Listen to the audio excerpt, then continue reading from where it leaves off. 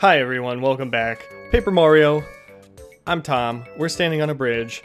We left off right before this boss fight with this friendly bird-looking fellow. He's actually a pain in the ass, so there is a way to avoid fighting him actually, so I'm not gonna show that. I actually want to fight him because it's good experience and it's good practice. So hold up a sec there, partner. Just a darn minute. I've seen you somewhere. I like how he's a hillbilly. Southern boy. Uh, takes out a piece of paper. Yep, very similar.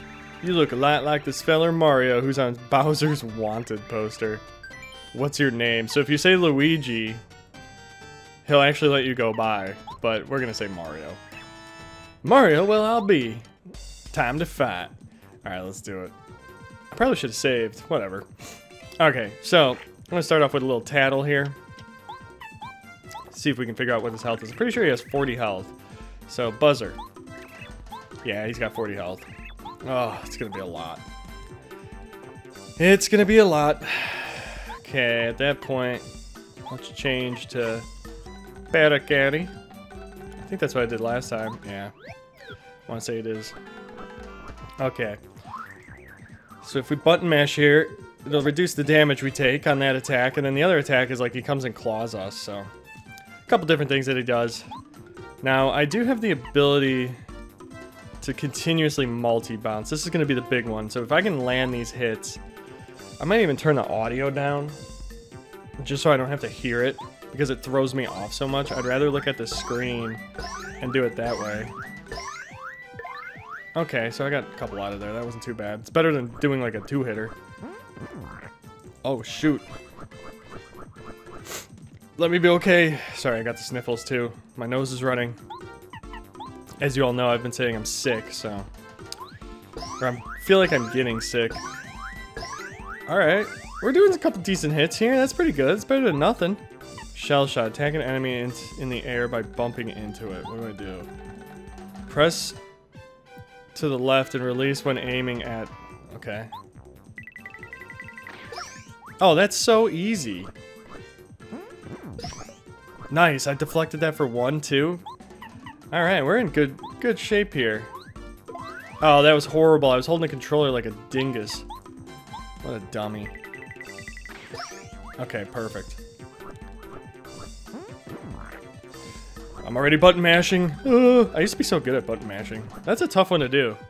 Thank God. Okay, so at this point, I think I'll just use my maple syrup. I'm gonna save the star thing until my health gets below five, uh, less than 10, because then it, uh, it would be a waste if I prematurely used it. Right in the face. Ah, what the hell? He threw feathers at me. Why would those even hurt? Okay, let's try this again. 13 health. We're taking him down pretty good. Oh, I thought I did that one extremely early. I thought it was going to mess it up. I was ready for that to mess it up. Now, is there a way I can get better than nice with that, or no? Oh, button mashing time! Oh, shit. That's gonna hurt. Okay, you know what? Here's how we finish them then. Let's refresh. We'll get some health, and then we're gonna take him down. Actually, this fight's not too bad. I'm actually doing a lot better this time than I did the first time around. I went into it a little smarter, too, so... This will take him out. serves you right to be taken out by another bird, or flying creature, I should say. Ooh, 15 star points. Mario's like, no, no. Wow, I got whooped. Yeah, you did. Get out of here. He's kind of a funny character. Alright, now we get to descend the mountain. How nice. That means we're pretty much done with Mount Rugged then. Any secret spots over here? Nope, nothing hidden. Figured. Maybe they would get tricky. Alright. Now this next area that we're going to be entering might just be the most annoying place in the game. I'm going to save too. It is, without a doubt... Oh, that's not the path. Probably the most... It's probably the largest place in the entire game. Let's talk to these guys. Uh, old boy. Yes, I am old. Hey, it's Kolorado. Somebody mentioned this guy. You're trying to find the Dry Dry ruins. Okay. Gather information at Dry Dry Outpost. That's where we're probably going to need to go. You're Kolorado. The name's Parakarry. I deliver letters. I believe I have one for you. Hang on a moment. Hey, we do have one. Another letter, duly delivered. A postman's job is never done. I like how there's always a postman in Nintendo games. Like, you got the Zelda postman.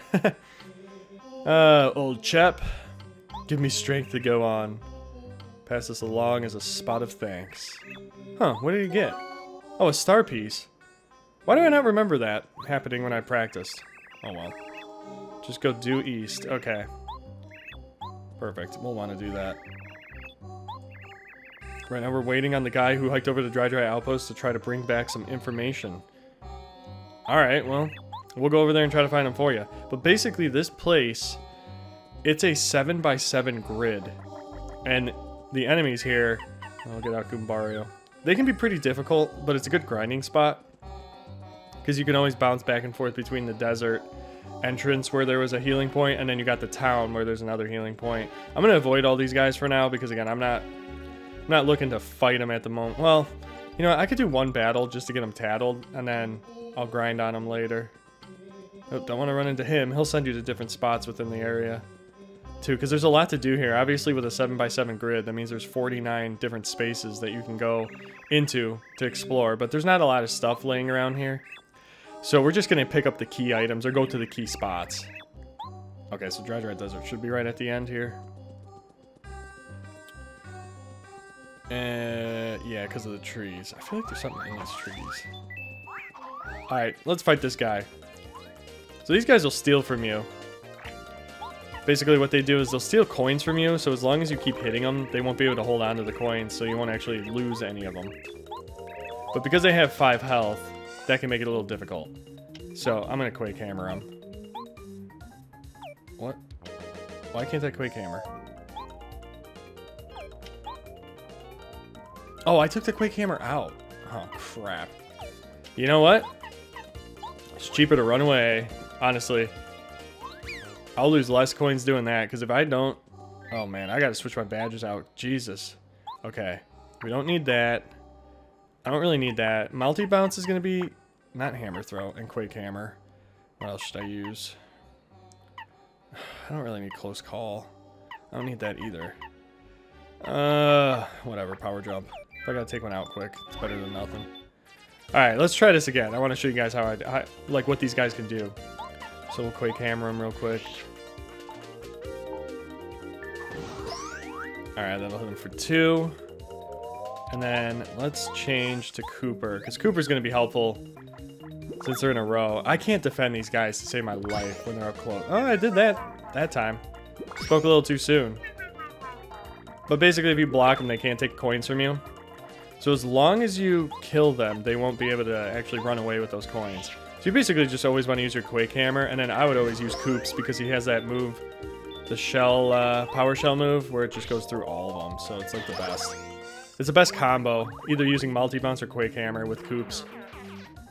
And you can level up pretty quick fighting these guys. As you can see, I mean, I just got that many star points for that. So it's definitely a good way to grind, and a good way to get some coins. Because these guys drop a lot. So we only have one more enemy we actually got to tattle in here. I feel like there was something in one of these trees. That's why I keep hitting them. Maybe I'm thinking incorrectly. I don't know. Is there a tree down here? No, it's just a path. Well, I don't want to get lost in the desert. I'd rather make it to the town because we're getting close on time. Maybe it was here where there's a tree that you can hit and get something out of it. That's all just coins so far. I should probably get some health items. Because I have a lot of items for flower power, but like tons of honey and stuff and like maple syrups. I don't really have anything for health. I have that shroom, that one mushroom. That's it though. Oh, there it is. Okay. Wait, who is that for? Who is that for? I didn't see. Let's see. It said something. Something about a village or something like that. Oh god, I got a lot of letters. Merlon in Toad Town, Morty, Mort T in Koopa Village, Goomba and Goomba Village. Okay, well, I'll have to go visit those guys. Welcome, travelers. You must have had a long journey, hot journey. We're getting here. A long, hot journey getting here. Yeah, this is Dry Dry Outpost. Moustafa is the leader of this entire town, so you better keep it in mind. Okay. Although we won't see him. All right. Is that him?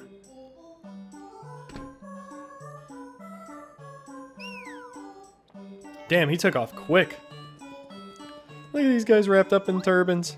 Toads with turban heads. That's funny. Turban heads is so wrong to say. That's so mean to say. I take that back. oh, it's so bad. hey, is this Chuck Quizmo?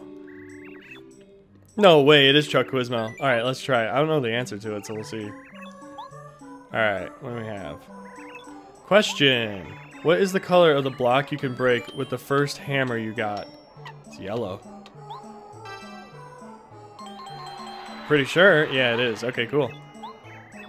All right, another star piece from the Mr. Quizmo. Oh, shoot, we're over on time.